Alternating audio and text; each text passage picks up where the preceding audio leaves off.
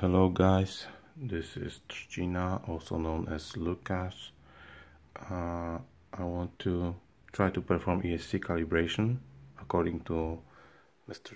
DRC uh, the rules manual so uh, we'll do a standard calibration with props off. Right. We have battery unplugged so safety first and what I will do right now is I will plug in the USB cable to my PC so let's go just like this. And the flight controller is responding. Obviously we need to now to uh, connect to the iNav so let's do that. We're there. We're going to output tab right? So everything is by default here disabled so safety first again. Uh, what is required right now is to move this safety switch. This one to enable. We have the sliders enabled. Then according to the manual I put the master slider to 100% and then I will plug in battery. We'll try to do it with one hand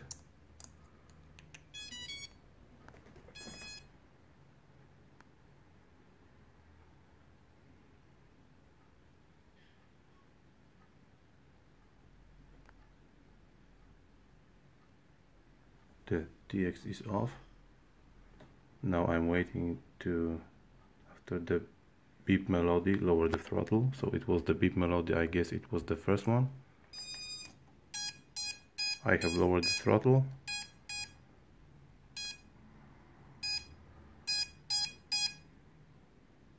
And uh, ESCs are singing right now. Let's try to move the slider up now.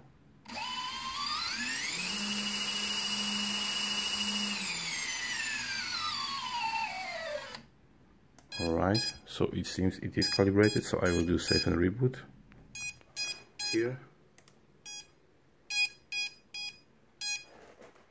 It's saving and rebooting.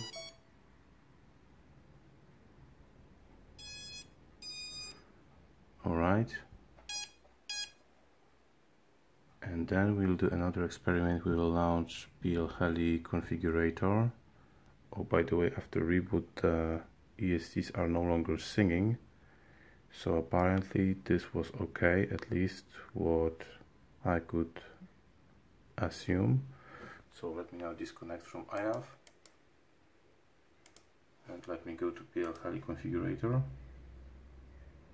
And then let me just wait for the COM port to be detected and connect. Then obviously I need to read setup. And these are the things that are in PSC Heli. And I can tell you that these are the values I have set by manual. So the question is whether I messed up here or we have this calibration properly done